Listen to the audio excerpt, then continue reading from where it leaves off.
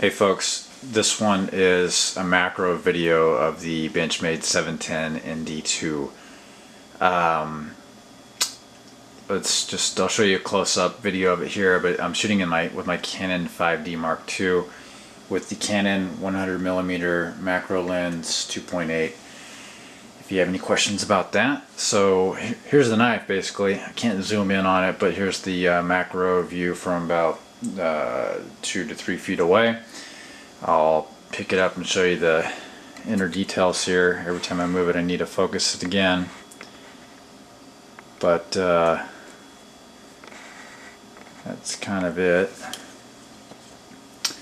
Let me see if I can get some better light on it.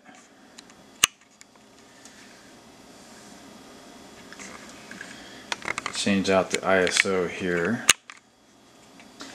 Okay, minor lining adjustment there. So uh, here's a close-up view. Standard Axis lock, of course.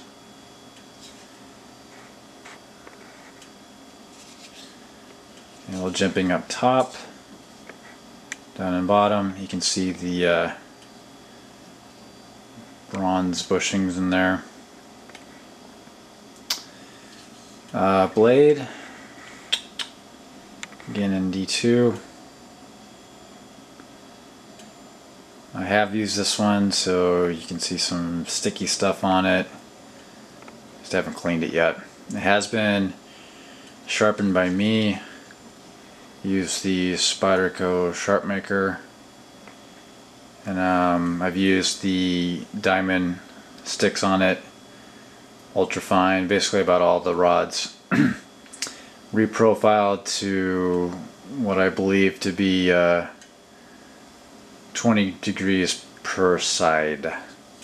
Factory is 30 per side per side which I recently found out and that I think that explains a lot about Benchmade for me. But uh,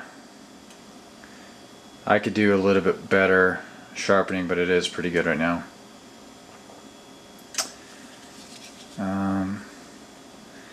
nothing that interesting to see about the steel. It is D2 you need to take care of it a little bit more. That might mean just wiping it down further um, get some make sure you remove any kind of fingerprints and water before you store it or use it that kind of stuff. But you know, I'm not going to necessarily go out of my way too much on this knife to take care of it. Meaning I take care of all my knives and will typically wipe them down and clean them up. Don't have them exposed to water for too long. So you can see the logo there in D2 steel.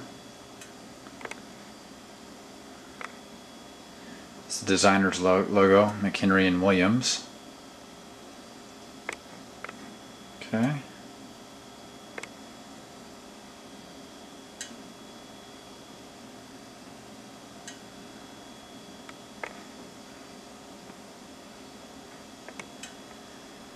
Still not the sharpest knife I own, but uh, that can be fixed with a little bit of time and tools. But I'm still going to say that so far, despite any kind of sharpness issues, this one is a pretty good knife. Pretty neat uh, recurve there.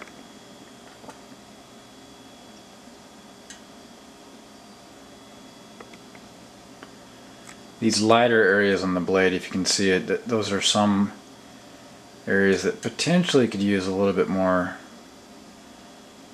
sharpening or any kind of um, non-uniform areas. So I don't know if there's much more to see macro wise it's pretty straightforward um, whenever I say that I always think of one more thing but I don't know if the light will do it here but uh, skeletonized liners you can kind of see it back here closed back design.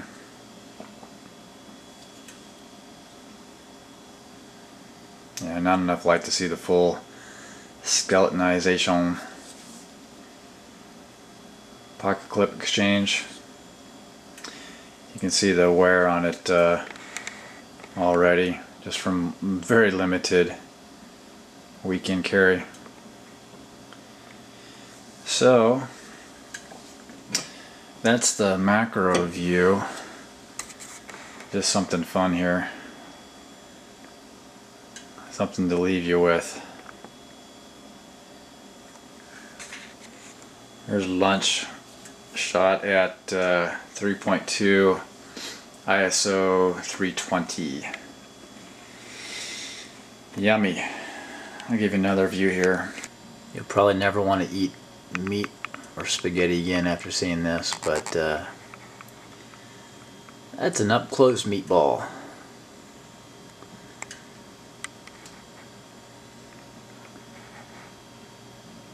Anywho, later.